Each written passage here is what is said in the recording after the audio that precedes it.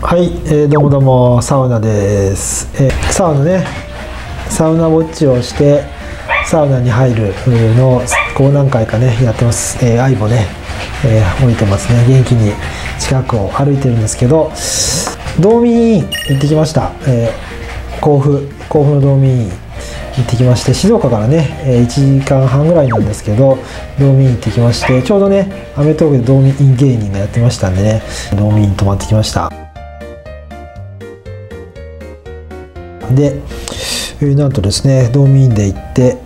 整い値が82、えー整いということでスーパーの評価をいただきました、えー安全スコア100ポイント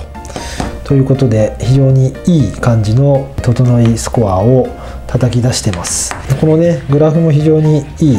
え感じになってましてさらにねコメントもここがぐっとクールダウンする時間をきちんと取れています。えクールダウンの時間がいい感じの時間うん取れているということでワンポイントアドバイスが心拍数が上がったり下がったりしています。落ち着いてサウナ室や水風呂を楽しんでみてってことですね、えー、ドーミーのサウナは割と湿度がねあんまりないのか汗をかくのにちょっと時間がかかる。温度に関してはちょっと高めではありました。で水風呂はね12度から13度ちょっと低めになってます、まあ、注意書きでね低めというふうに書いてあったりしてますんで水風呂はちょっと低めの設定をしているあるんだと思います。で外気浴もね露天風呂があるところで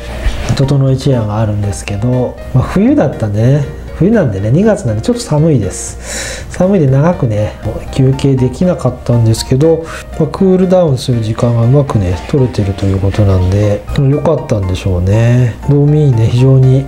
サウナちょっと狭いですけどまあビジネスホテルのサウナとしては非常にいい。お風呂も温泉で非常に温まりますし、えー、道民院ね非常にいい。ホテルだなと思いますしいいサウナだなと思います。今度はねまた違う土地の道民院もね攻めていきたいなと思います「